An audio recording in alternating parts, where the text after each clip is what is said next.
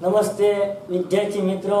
આપણે ધોરણ નવ વિષય વિજ્ઞાનના પહેલા પ્રકરણ, આપણી આસપાસમાં દ્રવ્યના દસમા તાસમાં આપ સૌનું હાર્દિક સ્વાગત છે. વિદ્યાર્થી મિત્રો, આપણે ઘણા લાંબા સમયથી દ્રવ્ય દ્રવ્ય એટલે શું? દ્રવ્યની વિવિધ અવસ્થાઓ અને દ્રવ્ય પર અલગ અલગ પરિબળોની પડતી અસર વિશે વાત કરી રહ્યા છીએ.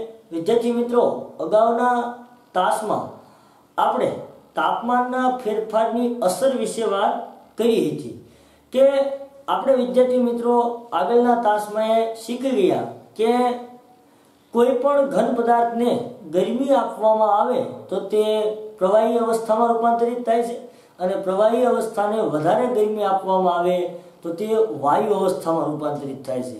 એટલે કે ઘન પદાર્થને ઉષ્મા આપો, તો પહેલાં પ્રવાહી અવસ્થામાં. અને પ્રવાહી પદાર્થને વધારે ઉષ્મા આપો, તો તે વાયુ અવસ્થામાં રૂપાંતરિત થાય છે.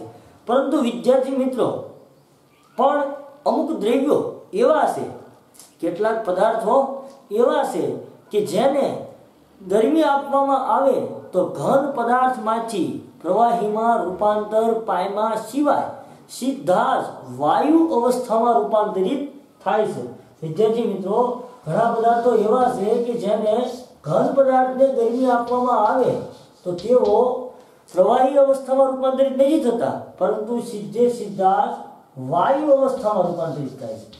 શેમાં રૂપાંતરિત થાય છે? વાયુ અવસ્થામાં. ફરી એકવાર કહું છું વિદ્યાર્થી મિત્રો કે તાપમાનના ફેરફારની અસરમાં આપણે અગાઉના બે તાસમાં એવું શીખ્યા કે ઘન પદાર્થને ગરમી આપતા તે પ્રવાહીમાં અને પ્રવાહીને વધારે ગરમી આપતા તે વાયુ અવસ્થામાં રૂપાંતરિત થાય છે. આ જ વાયુ અવસ્થાને ઠંડી પાડતા તે પ્રવાહી અવસ્થામાં અને વધારે પ્રવાહી અવસ્થાને ઠંડી પાડતા તે ઘન અવસ્થામાં રૂપાંતરિત થાય છે. પરંતુ વિદ્યાર્થી મિત્રો, વિજ્ઞાનમાં રહેલા દ્રવ્યોમાં કેટલાક એવા અપવાદ છે, કેટલાક એવા પદાર્થો છે કે જે પદાર્થોને તમે ગરમ કરો તો એ ઘન પદાર્થમાંથી પ્રવાહીમાં રૂપાંતરિત પાયમાં સિવાય સીધા જ વાયુમાં રૂપાંતરિત થાય છે. અને તે વાયુ અવસ્થાને ઠંડી કરવામાં આવે તો તે સંઘનન પામીને સીધા જ ઘનમાં રૂપાંતરિત થાય છે, જ્યાં પ્રવાહી અવસ્થા આવતી નથી. આવા પદાર્થો વિશે આપણે એક પ્રવૃત્તિ કરીને જાણીએ કે વિદ્યાર્થી મિત્રો, આ પ્રવૃત્તિમાં આપણે સૌપ્રથમ આવા અમુક પદાર્થો લઈશું. જેમ કે ઘન એમોનિયમ ક્લોરાઇડ. Ammonium chloride. ઘન, એમોનિયમ ક્લોરાઇડ. જેનું રાસાયણિક સૂત્ર છે NH4Cl અથવા તો કપૂર. કપૂરનું નામ તો આપ સૌએ સાંભળ્યું છે કપૂરની ગોળી. આ કપૂર અથવા તો ઘન, એમોનિયમ ક્લોરાઇડ. આપણે આ પ્રવૃત્તિમાં શું કરવાનું છે તો કે વિદ્યાર્થી મિત્રો, આપણે અહીં જાણવાનું છે કે કેટલાક એવા પદાર્થો હોઈ શકે કે જેને ગરમી આપતા પ્રવાહીમાં રૂપાંતર પામ્યા સિવાય ઘનમાંથી સીધા વાયુમાં અને વાયુમાંથી ઠંડા પાડતા સીધા ઘનમાં રૂપાંતરિત થાય છે.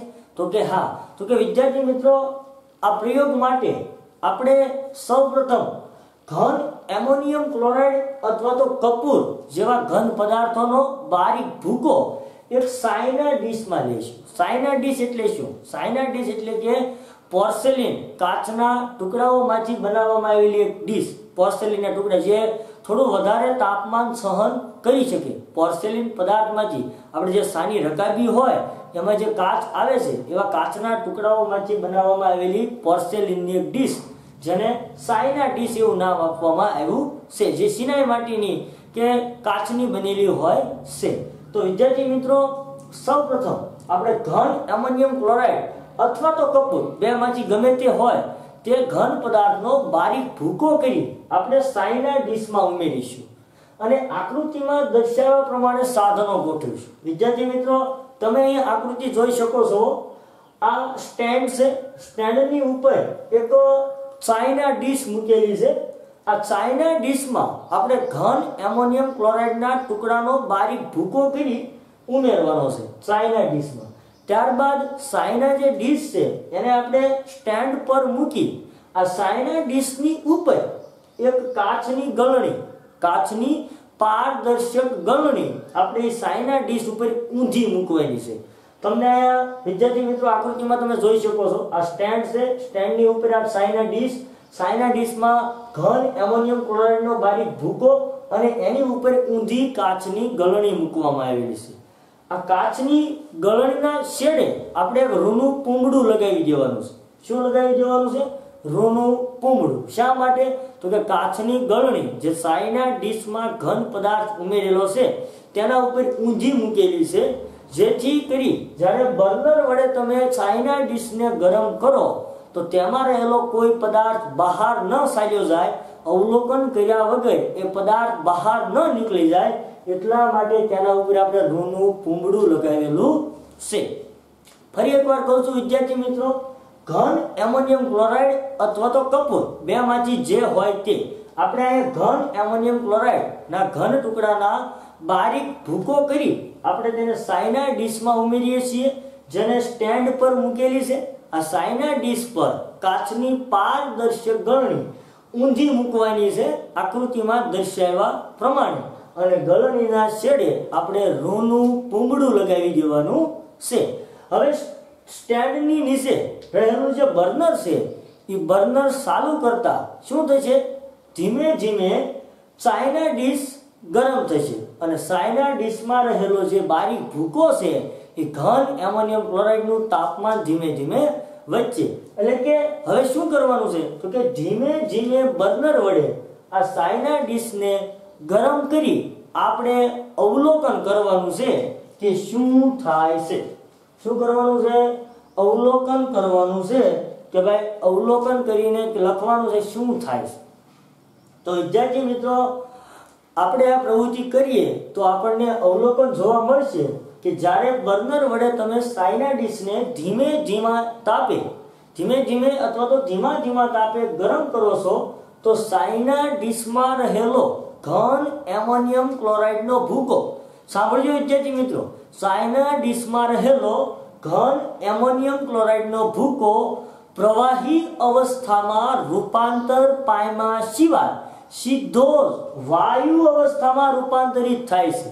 અને આ વાયુના જે કણો છે એ કાચની પારદર્શક ગળણીની દિવાલ ઉપર આવે છે. ક્યાં આવે છે? કાચની પારદર્શક ગળણીની દિવાલ ઉપર આવે છે, જે તમે જોઈ શકો છો, જે તમે અવલોકન કરી શકો છો, જો અમે અહીંયા કહ્યું છે એવું. કે ભાઈ, જ્યારે તમે સાયના ડીચને ગરમ કરો છો, તો તેમાં રહેલો ઘન એમોનિયમ ક્લોરાઇડ સીધો જ વાયુમાં રૂપાંતરિત થાય છે. આગળ આપણે શું ભણ્યા? તાપમાનના ફેરફારની અસરમાં.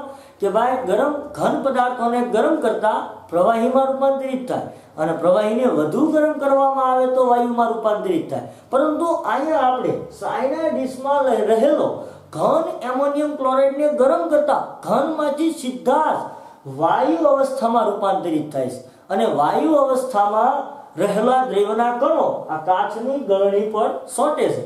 જ્યારે આ કાચની ગળણી બહારના વાતાવરણના સંપર્કમાં છે. આ કાચની ગળણી જે છે, એ તેની આજુબાજુના વાતાવરણના સંપર્કમાં છે. જેના લીધે કાચની ગરણીના દિવાલ પર સોટેલા વાયુના કણો ઠંડા પડશે. અને એ વાયુના કણો ઠંડા પડી ફરીથી પાસા ઘન એમોનિયમ ક્લોરાઇડમાં રૂપાંતરિત થઈ એ ગળણીની દિવાલો પર સોંટી જાય છે. જે આપણું અવલોકન છે, વિદ્યાર્થી મિત્રો. વિદ્યાર્થી મિત્રો, ફરી એકવાર કહું છું આ પ્રવૃત્તિ કરતા શું થાય છે? તો કે પ્રવૃત્તિ કરતા ધીમા તાપે બર્નર ચાલુ કરતા ધીમા તાપે સાયનાઇડ ડીશમાં રહેલો ઘન એમોનિયમ ક્લોરાઇડ ગરમ થાય. ઘન એમોનિયમ ક્લોરાઇડ સીધો પ્રવાહીમાં રૂપાંતરિત પામ્યા સિવાય વાયુ અવસ્થામાં રૂપાંતરિત થાય છે. અને આ વાયુ અવસ્થાના એમોનિયમ ક્લોરાઇડના કણો કાચની ગળણી પર સોંટી જાય છે. જ્યારે કાચની ગળણી બહારના વાતાવરણના સંપર્કમાં હોવાથી થોડી ઠંડી થવાથી તેના ઉપર રહેલા દ્રવ્યના કણો ઠંડા પડી પાસા પ્રવાહીમાં રૂપાંતર પામ્યા સિવાય સીધા ઘન એમોનિયમ ક્લોરાઇડમાં રૂપાંતર થઈ ગળણી ઉપર સોંટી જાય છે. તો વિદ્યાર્થી મિત્રો, આ પ્રવૃત્તિ પરથી આપણે શું નિર્ણય લઈ શકીએ? તો કે એવા કેટલાક પદાર્થો કે જેને ગરમ કરતા પ્રવાહી અવસ્થામાં. એવા કેટલાક પદાર્થો કે જેને ગરમ કરતા પ્રવાહી અવસ્થામાં રૂપાંતર પામ્યા સિવાય ઘનમાંથી સીધા જ વાયુમાં રૂપાંતરિત થાય છે અને વાયુ અવસ્થામાં ઠંડા પાડતા પાસા સીધા ઘન અવસ્થામાં રૂપાંતરિત થાય છે. તો વિદ્યાર્થી મિત્રો, આવા પદાર્થોને કેવા પદાર્થો કહેવાય? તો કે આ કંઈક વિશેષ ગુણ ધરાવતા પદાર્થો છે. જ્યાં ઘનનું સીધું વાયુમાં અને વાયુનું સીધું ઘનમાં રૂપાંતર થાય છે. જ્યાં ઘનમાંથી સીધો વાયુ બની જાય છે અને વાયુમાંથી સીધો ઘન બની જાય છે. જેને પ્રવાહી અવસ્થા આવતી નથી. તો આવા પદાર્થો જે છે, એને વૈજ્ઞાનિકોએ નામ આપ્યું છે ઉધર્વપાતિત પદાર્થો. કેવા પદાર્થો? ઉધર્વપાતિત પદાર્થો. અને આ જે પ્રક્રિયા છે, આ જે ઘટના છે એને વૈજ્ઞાનિકોએ નામ આપ્યું છે ઉધર્વપાતન અથવા તો ઉધ્વપાતન ઉધર્વપાતન અથવા તો ઉધ્વપાતન તો આ પ્રવૃત્તિ પરથી આપણે શું નિર્ણય લઈ શકીએ? તો કે અમુક એવા ઘન પદાર્થો કે જેને ગરમ કરતા પ્રવાહી અવસ્થા સિવાય સીધા વાયુ અવસ્થામાં રૂપાંતરિત થાય છે અને ઠંડા પાડતા વાયુ અવસ્થામાંથી સીધા ઘન અવસ્થામાં રૂપાંતરિત થાય છે. આ પ્રક્રિયાને ઉધર્વપાતન કહેવામાં આવે છે. વિદ્યાર્થી મિત્રો, બે કે ત્રણ માર્કમાં પ્રવૃત્તિ પૂછાય છે કે ઉધર્વપાતન એટલે શું? પ્રયોગ દ્વારા સમજાવો. અથવા તો ઉધર્વપાતન એટલે શું? ઉધર્વપાતન ધરાવતા બે પદાર્થોના નામ આપો. તો વિદ્યાર્થી મિત્રો, આપણે પ્રવૃત્તિ દ્વારા ઉધર્વપાતન જે છે તેને સમજાવી શકીએ અને ઉદાહરણ સ્વરૂપે ઘન, એમોનિયમ ક્લોરાઇડ અને કપૂરના ઉદાહરણ પણ આપી શકીએ. છીએ તો વિદ્યાર્થી મિત્રો, આ પ્રવૃત્તિનો નિર્ણય શું છે? તો કે અમુક ઘન પદાર્થોને ગરમ કરતા પ્રવાહી અવસ્થામાં રૂપાંતરિત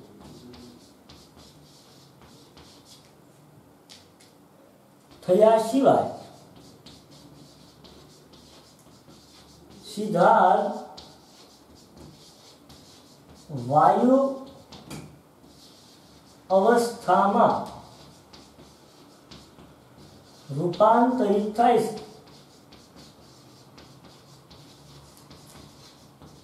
અને ઠંડા પાડતા વાયુ અવસ્થામાંથી સીધા ઘન અવસ્થામાં રૂપાંતરિત થાય છે. સીધા ઘન અવસ્થામાં રૂપાંતરિત થાય છે. આ પ્રક્રિયાને શું કહેવાય છે? ઉદ્ધર્વપાતન અથવા તો ઉધ્વપાતન કહેવામાં આવે છે. ઉદ્ધર્વપાતન કહે છે. અને આવા પદાર્થોને, આવા જે પદાર્થો હોય, થોડાક જ છે અને આવા પદાર્થોને ઉદ્ધવ પાતી પદાર્થો કહે છે વિદ્યાર્થી મિત્રો, કે ભાઈ, આ પ્રવૃત્તિ પરથી આપણે શું નિર્ણય લઈ શકીએ? તો કે અમુક ઘન પદાર્થોને ગરમ કરતા પ્રવાહી અવસ્થામાં રૂપાંતર પામ્યા સિવાય સીધા વાયુ અવસ્થામાં રૂપાંતરિત થાય છે અને ઠંડા પાડતા વાયુ અવસ્થામાંથી સીધા ઘન અવસ્થામાં રૂપાંતરિત થાય છે, તો આવી પ્રક્રિયાને ઉધર્વ પાતન કહે છે. અને આવા અમુક જે પદાર્થો છે, તેને ઉધ્રવપાતિત પદાર્થો કહેવામાં આવે છે. ઉદાહરણ સ્વરૂપે ઘન, એમોનિયમ ક્લોરાઇડ અથવા તો કપૂર. આ બે એવા પદાર્થો છે કે જેને તમે ગરમ કરો તો પ્રવાહીમાં રૂપાંતર પામતા નથી. પ્રવાહીમાં રૂપાંતર પામ્યા સિવાય સીધા જ વાયુમાં અને વાયુ અવસ્થાને ઠંડી પાડો તો સીધા ઘનમાં રૂપાંતરિત થાય છે. તો આ વિદ્યાર્થી મિત્રો, આપણા તાપમાનના ફેરફારની અસરનો બીજો તબક્કો હતો. તો વિદ્યાર્થી મિત્રો, આપણે તાપમાનના ફેરફારની અસરમાં બે તબક્કા જોયો. જોયા. પહેલા તબક્કામાં, તો કે પહેલા તબક્કામાં આપણે જોયું કે કોઈ ઘન પદાર્થને ઉષ્મા આપવામાં આવે, ગરમી આપવામાં આવે કે તાપમાન વધારવામાં આવે, તો ઘન પદાર્થની અવસ્થા બદલાઈને પ્રવાહી અવસ્થામાં રૂપાંતરિત થાય, આ પ્રવાહી અવસ્થામાં વધારે તાપમાન આપવામાં આવે, તો તે વાયુ અવસ્થામાં રૂપાંતરિત થાય છે. અને તે જ વાયુ અવસ્થાને જો ઠંડા પાડવામાં આવે, તો પહેલા પ્રવાહીમાં રૂપાંતરિત થાય છે અને પ્રવાહી અવસ્થાને વધારે ઠંડી પાડવામાં આવે, તો તે ઘનમાં રૂપાંતરિત થાય છે. જ્યારે બીજા તબક્કામાં આપણે શું જોયું, તો કે અમુક એવા પદાર્થો છે કે જેને ગરમ કરતા પ્રવાહી અવસ્થામાં રૂપાંતર પામ્યા સિવાય સીધા ઘનમાંથી વાયુમાં રૂપાંતરિત થાય છે અને વાયુ અવસ્થાનું ઠારણ કરતા સીધા જ ઘન અવસ્થામાં રૂપાંતરિત થાય છે. તો એ પ્રક્રિયાને ઉદ્ધપાતન કહેવામાં આવે છે અને આવા પદાર્થોને ઉદ્ધપાતિત પદાર્થો કહેવામાં આવે છે. તો વિદ્યાર્થી મિત્રો, આપણે આ બે તબક્કા પરથી તાપમાનના ફેરફારની અસર જોઈ કે ભાઈ તાપમાનને બદલતા દ્રવ્યની અવસ્થા બદલાઈ જાય છે. તાપમાન બદલો, એટલે દ્રવ્યની અવસ્થા બદલાઈ જાય. એની માટે પણ નિશ્ચિત તાપમાન જરૂરી છે. જેમ કે આપણે વાત કરી ગલન બિંદુ ઘનનું અને પ્રવાહીનું ઉત્કલન બિંદુ, કે ભાઈ તાપમાન બદલતા દ્રવ્યની અવસ્થા બદલાય છે. તો આ તાપમાનના ફેરફારની અસર વિશે આપણે વાત કરી. હવે વિદ્યાર્થી મિત્રો, આ જ દ્રવ્યો પર આપણે દબાણના ફેરફારની અસર વિશે વાત કરવાની છે. શેની વાત કરવાની છે? દબાણના ફેરફારની અસર. તો કે દ્રવ્ય પર ફેરફારની શું અસર થાય છે. વિદ્યાર્થી મિત્રો, આપણે સૌ જાણીએ છીએ, દબાણ એટલે શું? આપણે વાત થઈ ગઈ છે. એકમ ક્ષેત્રફળ દીઠ સપાટી પર લાગતા બળને દબાણ કહેવાય છે. અને કયા પદાર્થો દબાણ લગાવે છે આપણે સૌ જાણીએ છીએ. કે ભાઈ વાયુ પદાર્થો જે છે, તેને જે પાત્રમાં ભરવામાં આવે તે પાત્રની દિવાલો પર દબાણ લગાવતા હોય છે. કારણ તો કે વાયુ અવસ્થામાં રહેલા દ્રવ્યના કણો સતત અસ્ત વ્યસ્ત ગતિ કરતા હોય છે. જેના લીધે એકમ ક્ષેત્રફળની સપાટી દીઠ વાયુના કણો બળ લગાવતા હોય છે. જેના લીધે વાયુમાં દબાણ ઉત્પન્ન થાય છે. તો વિદ્યાર્થી મિત્રો, આપણે અહીં વાત કરવાની છે દબાણના ફેરફારની અસર.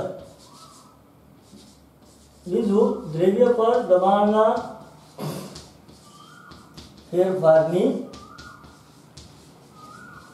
અસર. વિદ્યાર્થી મિત્રો, દબાણ. હવે આપણે સૌ જાણીએ છીએ કે દ્રવ્યના કણો વચ્ચે જે અવકાશ રહેલો છે એ અવકાશ પરથી દ્રવ્યની અવસ્થા શક્ય બને છે. જેમ કે કઈ રીતે? તો કે દ્રવ્યના કણો વિશે ખૂબ જ વધારે અવકાશ રહેલો હોય તો એ કઈ અવસ્થા છે? દ્રવ્યના કણો છે, ખૂબ જ વધારે અવકાશ રહેલો હોય તો કઈ અવસ્થા છે? તો કે એ અવસ્થા છે વાયુ અવસ્થા. પણ દ્રવ્યના કણો એકબીજાથી થોડાક વધારે નજીક હોય તો કઈ અવસ્થા છે? તો કે એ અવસ્થા છે પ્રવાહી.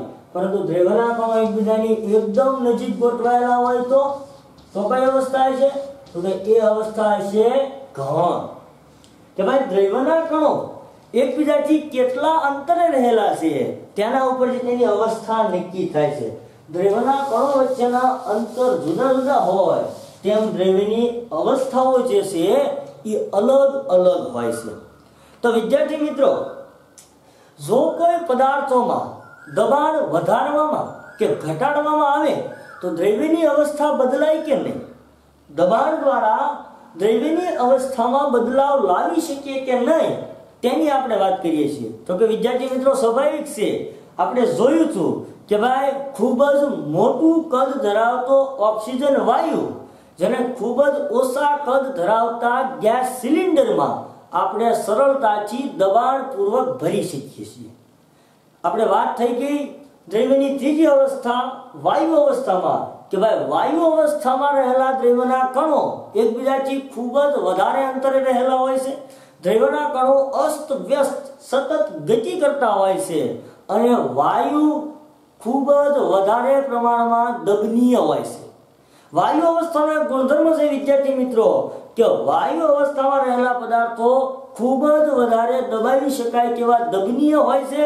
સાથે સાથે તેમના કણો એકબીજાથી ખૂબ જ વધારે અંતરે રહેલા હોય છે અને ત્રીજું, તેમના કણો વચ્ચેનું આંતર આણવીય આકર્ષણ બળ ખૂબ જ નિર્બળ હોય છે.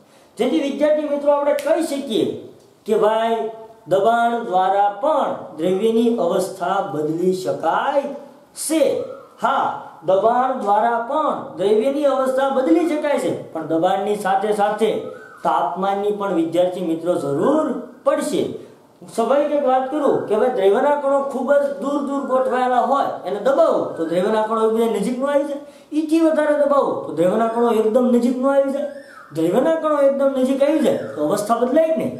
દ્રવ્યના કણો ખૂબ દૂર હોય તો વાયુ અવસ્થા. દ્રવ્યના કણો એકબીજાની ખૂબ જ નજીક આવી જાય, તો એ ઘન અવસ્થા. પણ સાથે સાથે મેં કીધું એમ તાપમાનની પણ જરૂર પડે. વિદ્યાર્થી મિત્રો, અહીંયા આપણે પ્રવૃત્તિ દ્વારા સમજીએ કે ભાઈ એક નળાકાર પિસ્ટન હોય. સોરી એક નળાકાર સિલિન્ડર હોય અને એ સિલિન્ડરમાં કોઈ વાયુ ભરેલો છે એને શું ભરેલો છે? કોઈ વાયુ ભરેલો છે. આ સિલિન્ડરને કોઈ પિસ્ટન દ્વારા હું દબાવું. આ સિલિન્ડર જે છે, એને કોઈ પિસ્ટન દ્વારા હું દબાવું તો? આ પહેલો તબક્કો કે ભાઈ એક નળાકાર સિલિન્ડર છે શું છે? સિલિન્ડર.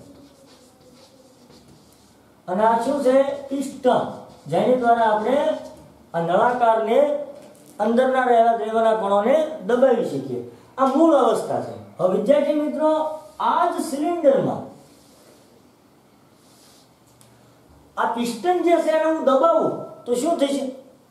આ વાયુના જે કણો છે, એ કણો વચ્ચે તો જગ્યા રહેલી છે. અવકાશ રહેલો છે. હું આને દબાવું તો પિસ્ટન જે છે એને દબાવતા દ્રવ્યના કણો એકબીજાની નજીક આવી જશે. શું છે દ્રવ્યના કણો એકબીજાની નજીક આવી જશે ને? આવી રીતે.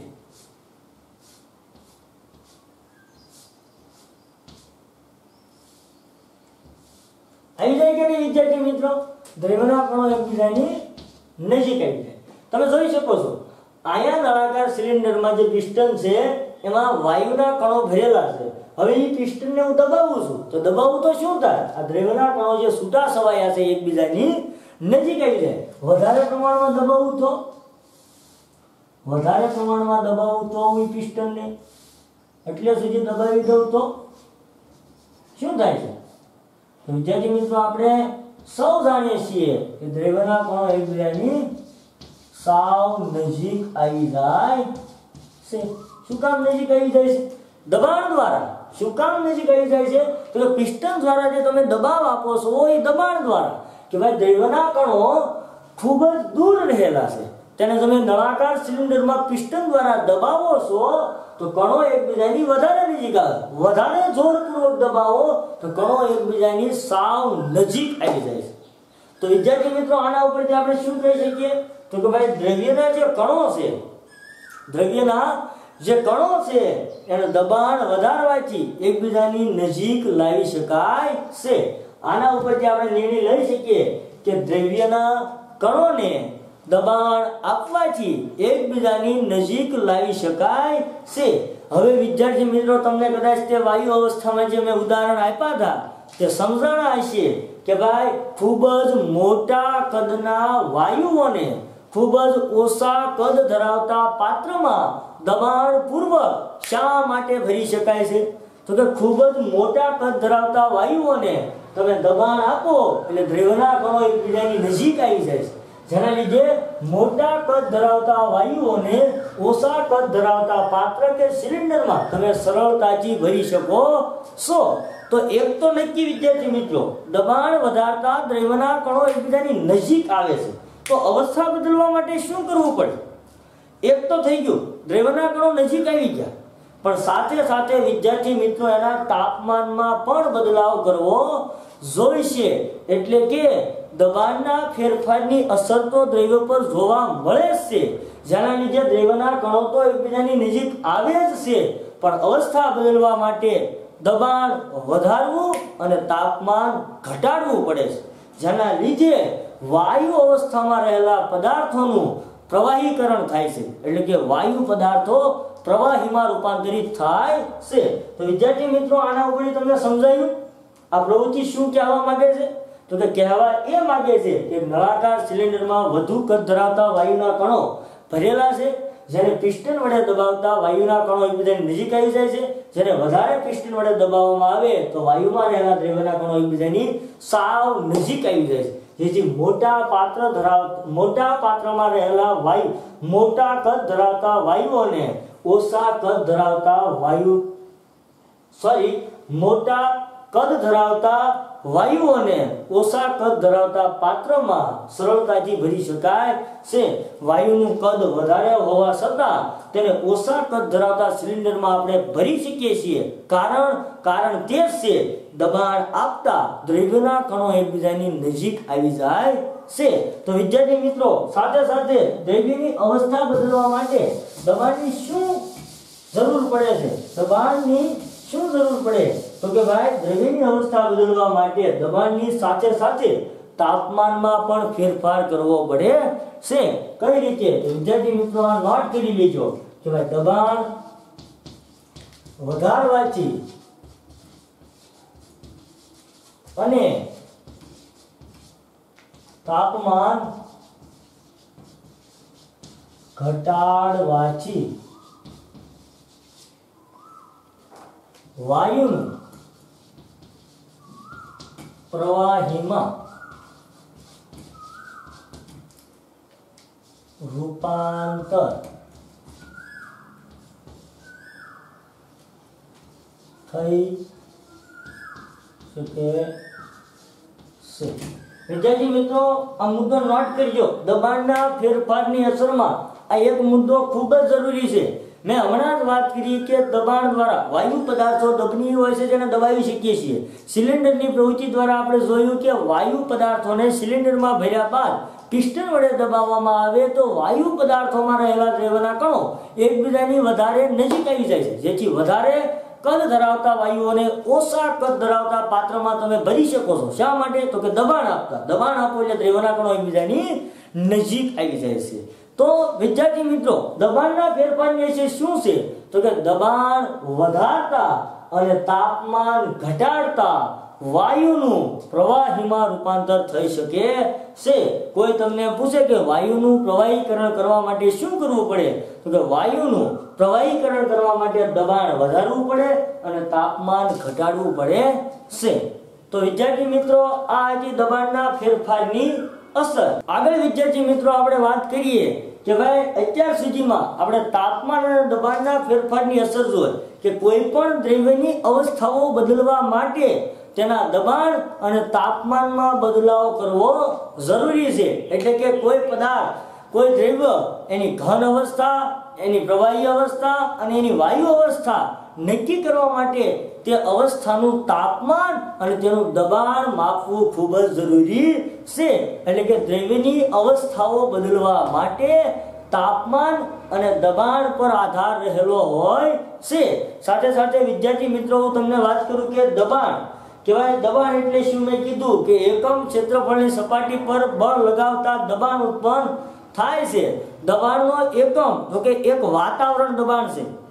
દબાણનો એક એકમ તો કે વાતાવરણમાંનું જે હવાનું જે સામાન્ય દબાણ હોય એને એક વાતાવરણ દબાણ અથવા તો એક એટમોસ્ફિયર કહેવામાં આવે. સામાન્ય દબાણ. એક એટમોસ્ફિયર એક એટી એમ જેને એટમોસ્ફિયર વાંચવામાં આવે. A T A T M O H P H E R E atmosphere એક એટીએમ એટલે કે એક વાતાવરણ દબાણ. દબાણનો એસઆઈ એકમ તેના વૈજ્ઞાનિકની યાદમાં જેને દબાણનો એકમ આપ્યો છે, ઈ એ વૈજ્ઞાનિકની યાદમાં દબાણનો એસઆઈ એકમ છે પાસ્કલ શું છે? દબાણનો એસઆઈ એકમ. વિદ્યાર્થી મિત્રો, આપણે એસઆઈ એકમ એકમ વિશે વાત આગળ થઈ ગઈ. શું છે?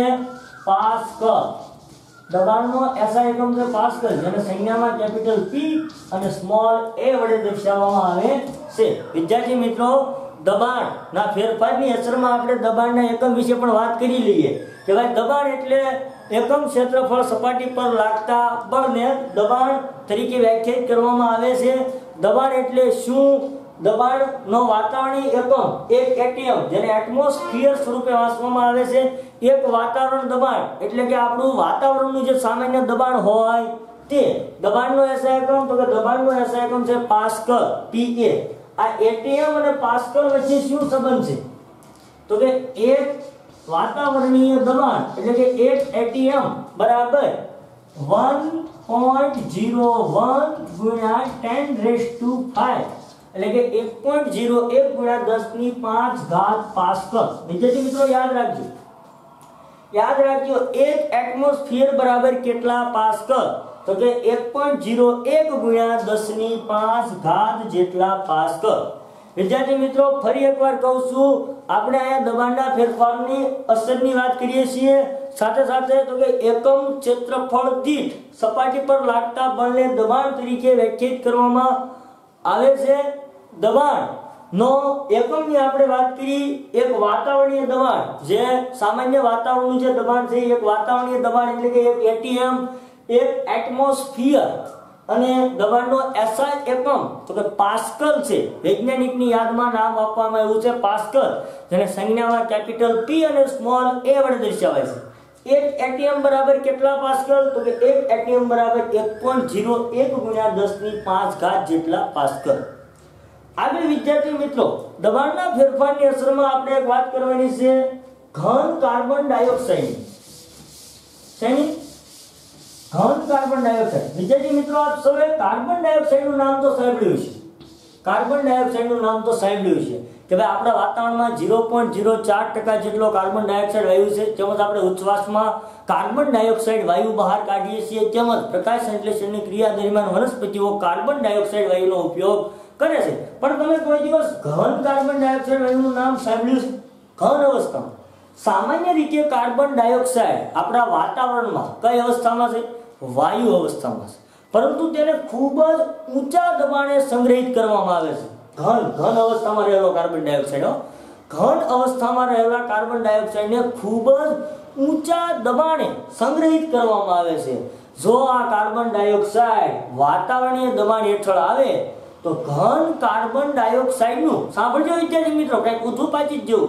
સોરી આ ઘન કાર્બન ડાયોક્સાઇડનું, સાંભળજો, શું થાય છે? કંઈક ઊંધું પાછી પદાર્થો જેવું થાય છે. કંઈક ઈ ટાઈપ થાય છે કે ભાઈ, ફરી એકવાર કહું છું, ઘન કાર્બન ડાયોક્સાઇડ એટલે કે કાર્બન ડાયોક્સાઇડનું ઘન સ્વરૂપ, જેને ઊંચા દબાણે સંગ્રહિત કરવામાં આવે છે. ખૂબ જ ઊંચા દબાણે સંગ્રહિત કરવામાં આવે છે. પરંતુ જે તે વાતાવરણના સંપર્કમાં આવે એટલે કે એક વાતાવરણીય દબાણ હેઠળ આ ઘન કાર્બન ડાયોક્સાઇડ સીધો પ્રવાહીમાં રૂપાંતરિત પાયમાં સિવાય, સીધો પ્રવાહીમાં રૂપાંતર પાયમાં સિવાય વાયુ અવસ્થામાં રૂપાંતરિત થઈ જાય છે. ફરી એકવાર કહું છું, વિદ્યાર્થી મિત્રો, કે ઘન કાર્બન ડાયોક્સાઇડ, કાર્બન ડાયોક્સાઇડનું નામ તમે સાંભળ્યું હશે જે સામાન્ય રીતે વાતાવરણમાં વાયુ સ્વરૂપે હોય છે. પણ ઘન કાર્બન ડાયોક્સાઇડ, કે જે ઘન સ્વરૂપે હોય છે, જેને ઊંચા દબાણે સંગ્રહિત કરવામાં આવે છે, અહીં દબાણના ફેરફારની અસર જોવા મળે એટલા માટેનું ઉદાહરણ લીધું. જેને ઊંચા દબાણે સંગ્રહિત કરવામાં આવે છે અને જો ઊંચા દબાણે સંગ્રહિત કરવામાં ન આવે અને તે એક વાતાવરણીય દબાણ ધરાવતા વાતાવરણના સંપર્કમાં આવે, તો આ ઘન કાર્બન ડાયોક્સાઇડનું પ્રવાહીમાં રૂપાંતર પાયમાં સિવાય સીધું વાયુ અવસ્થામાં રૂપાંતરિત થાય છે. શામાં રૂપાંતરિત થાય છે? વાયુ અવસ્થામાં રૂપાંતરિત થાય છે. એટલા માટે ઘન કાર્બન ડાયોક્સાઇડનું એક બીજું નામ છે. શું નામ છે ખબર? સૂકો બરફ શું? સૂકો બરફ ઘન સૂકા બરફ તરીકે ઓળખવામાં આવે છે. કોઈ વિદ્યાર્થી મિત્રો તમને પૂછે કે સૂકો બરફ એટલે શું? તો કે સૂકો બરફ એટલે કાંઈ નહીં, કાર્બન ડાયોક્સાઇડનું સોલિડ સ્વરૂપ. કાર્બન ડાયોક્સાઇડનું ઘન સ્વરૂપ. કાર્બન ડાયોક્સાઇડના ઘન સ્વરૂપને આપણે સૂકા બરફ તરીકે વ્યાખ્યાયિત કરીએ છીએ. તો વિદ્યાર્થી મિત્રો, આજે આપણે શું વાત કરી? તો કે વાત કરી દબાણના ફેરફારની અસર. કે ભાઈ દબાણ જે છે, એમાં બદલાવ કરવાથી દ્રવ્યની અવસ્થા અથવા તો દ્રવ્યના કણો વચ્ચેની જે જગ્યા છે, એ વધારી કે ઘટાડી શકાય છે. જેમ કે કોઈ નળાકારમાં ભરવામાં આવેલા દ્રવ્યના કણોને પિસ્ટનથી દબાવીએ તો દ્રવ્યના કણો એકબીજાની નજીક આવી જાય છે. સાથે સાથે દબાણના એકમની, દબાણના એસા એકમની. અને છેલ્લે કે ભાઈ, એક ઘન કાર્બન ડાયોક્સાઇડ વિશે કદાચ તમે ન સાંભળ્યું હોય, એટલે કે કાર્બન ડાયોક્સાઇડનું ઘન સ્વરૂપ કે જે ઊંચા દબાણે સંગ્રહિત કરવામાં આવે છે અને આ ઘન કાર્બન ડાયોક્સાઇડ જો એક વાતાવરણીય દબાણ હેઠળ આવે, તો ઘન કાર્બન ડાયોક્સાઇડનું સીધું વાયુ અવસ્થામાં રૂપાંતરણ થાય છે. શેમાં રૂપાંતરણ થાય છે? વાયુ અવસ્થામાં. જેના પરિણામે ઘન કાર્બન ડાયોક્સાઇડને શું કહેવામાં આવે છે? સૂકો બરફ. કેમ સૂકો બરફ? તો કે ભાઈ, એનું કઈ પ્રવાહી અવસ્થામાં રૂપાંતરણ તો થતું નથી. તો શા માટે? ભીનો કેવો? એટલા માટે સૂકો બરફ? કે ભાઈ, ફરી એકવાર કહું છું, એનું મુખ્ય કારણ શું છે? તો કે ઘન કાર્બન ડાયોક્સાઇડ પ્રવાહીમાં રૂપાંતર પામતો જ નથી. સીધો વાયુમાં રૂપાંતર પામે છે. અને વાયુ જે છે ઘનમાંથી સીધો વાયુમાં રૂપાંતર પામતો હોવાને લીધે એક વાતાવરણીય દબાણ હેઠળ ઘનમાંથી સીધો વાયુમાં રૂપાંતર પામતો હોવાને લીધે ઘન કાર્બન ડાયોક્સાઇડને સૂકા બરફ તરીકે પણ ઓળખવામાં આવે છે. વિદ્યાર્થી મિત્રો, સાથે સાથે દબાણના ફેરફારની મુખ્ય અસરમાં યાદ રાખજો. કે ભાઈ દબાણ વધારવાથી અને તાપમાન ઘટાડવાથી વાયુનું પ્રવાહીમાં રૂપાંતરણ કરી શકાય છે. આગળ હું એક પાઈ ચાર્ટ વિશે તમને સમજાવું. કે ચાર્ટ દ્વારા તમે તાપમાનના ફેરફારની અસર દબાણના ફેરફારની અસર અને ઉદ્વપાતન આ ત્રણેય વિશે સમજી જશો. એટલા માટે આ ત્રણ તાસમાં આપણે જે ભણ્યા છીએ એ એક ચાર્ટ દ્વારા તમે સમજી જશો. જોઈજો વિદ્યાર્થી મિત્રો. ઘન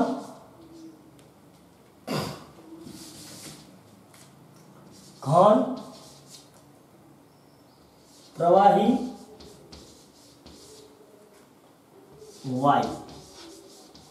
આ દ્રવ્યની ઘન અવસ્થા આ દ્રવ્યની પ્રવાહી અવસ્થા અને આ દ્રવ્યની વાયુ અવસ્થા. પહેલેથી વાત કરું છું, વિદ્યાર્થી મિત્રો, તાપમાનના ફેરફારની અસર. તાપમાનના ફેરફારની અસર તો કે ઘન પદાર્થોનું તાપમાન વધારતા તેના ગલન બિંદુએ ઘનનું શામાં રૂપાંતર થતું હતું? તો કે પ્રવાહીમાં. તો આ મેં કહ્યું ગલન.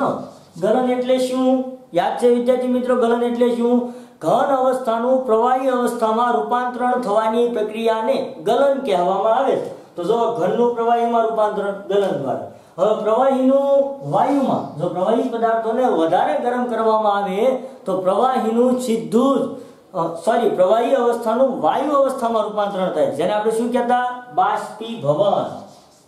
બાષ્પીભવન. વિદ્યાર્થી મિત્રો, આ ત્રણ તાસમાં જે આપણે ભણ્યા છીએ, આ એક ચાર્ટ દ્વારા તમે સમજી શકો છો. ફરી એકવાર કહું છું ઘનનું ગલન કરતા પ્રવાહીમાં પ્રવાહીનું બાષ્પીભવન થઈ વાયુ. હજી હમણાં ભણ્યા આપણે ઉદ્ધપાતન ઘનનું સીધું શામાં થતું હતું વાયુમાં. હું ઉદ્ધપાતન દ્વારા, શેની દ્વારા? ઉદ્ધપાતન દ્વારા. એ જ રીતે વાયુનું સીધું શામાં થતું હતું ઘનમાં. શેની દ્વારા? ઠારણ અથવા તો ઉદ્ધપાતન એક પ્રકારની ઉદ્ધપાતિત પ્રક્રિયા છે. કેવી પ્રક્રિયા છે? ઉદ્ધપાતિત પ્રક્રિયા છે કે જેની દ્વારા ઘનનું વાયુમાં અને વાયુનું સીધું ઘનમાં રૂપાંતર થતું હતું. હવે આગળ જોજો. વાયુ. વાયુ જે છે, વાયુમાં રહેલા દ્રવ્યના કણોનું દબાણ ઘટાડ સોરી વાયુમાં રહેલા દ્રવ્યના કણોનું દબાણ વધારવામાં આવે અને તાપમાન ઘટાડવામાં આવે. તો શામાં રૂપાંતર થતું હતું પ્રવાહીમાં. તો એ ઘટનાને કહેવાય સંઘનન. સંઘનન એટલે શું? તો કે વાયુ અવસ્થામાં રહેલા દ્રવ્યના કણો એકબીજાની નજીક આવે અને તાપમાન ઘટે એટલે વાયુનું સીધું પ્રવાહીમાં રૂપાંતર થાય. અને પ્રવાહી અવસ્થામાં જી, તો કે ઘનીભવન. શું? ઘનીભવન. ઘનીભવન એટલે તો કે ઠારણ. પ્રવાહીનું ઠારણ કરતા શેમાં રૂપાંતર થઈ જાય પાછા? ઘનમાં તો વિદ્યાર્થી મિત્રો, આ ચાર્ટ દ્વારા આપણે તાપમાનના ફેરફારની અસર અને દબાણના ફેરફારની અસર વિશે સરળતાથી સમજી શકીએ.